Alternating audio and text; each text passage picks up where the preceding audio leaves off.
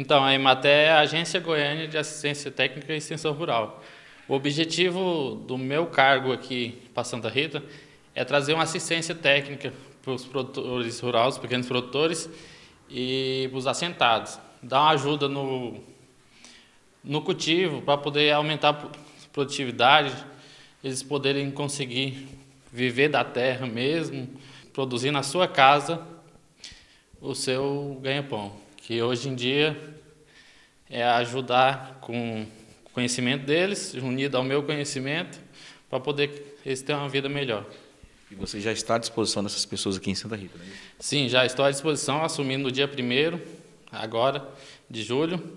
Estamos ajustando algumas coisas, questão de veículo, alguma coisa que a empresa já está, que a Maté já está providenciando, para poder mas eu já estou aqui na prefeitura, na Secretaria de Agricultura, cedido pelo pessoal aqui, Estou à disposição já. O prefeito Carlos Tadeu também falando para a gente da importância da vinda da Emater aqui para a cidade. Ah, sem dúvida. É dizer para o santarritense, especialmente ao pequeno produtor, porque é, desde que a gente assumiu é, o município, eu sempre dizia para o nosso governador, para o deputado federal José Mário, para José Mário, é, como a gente sempre passou na militância ali do sindicato rural, pelo meio rural, e eu sempre pedindo, gente, é, vamos aportar pelo menos um técnico da Emater lá em Santa Rita. Nós já tivemos em outra época a Emater é, com os profissionais, hoje nós não temos, e na época que tinha, não tínhamos nem assentamento, isso sempre eu justifiquei para eles.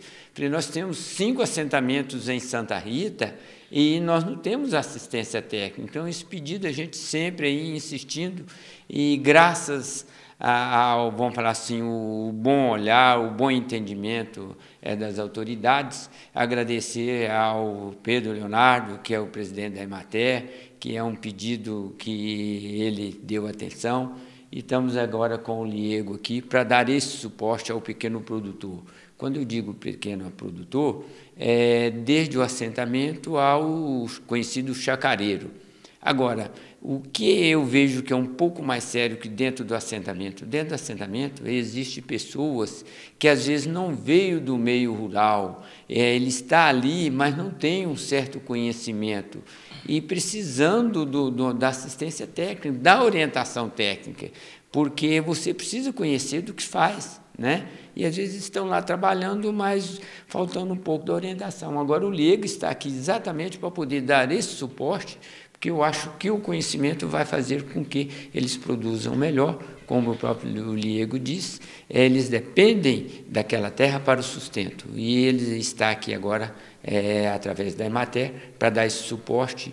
Eu tenho certeza que o pequeno produtor é, vai ficar feliz e vai produzir mais, assim é, o anseio de toda essa comunidade, do, principalmente do pequeno produtor, é, vai ser agora atendido através do LIEGO. Tá? Então, é agradecer às autoridades que nos ouviu e dar as boas-vindas para o LIEGO, né, que está assumindo agora, tá? e é uma parceria do município, então, com a Emater. Tá? Seja bem-vindo, Liego.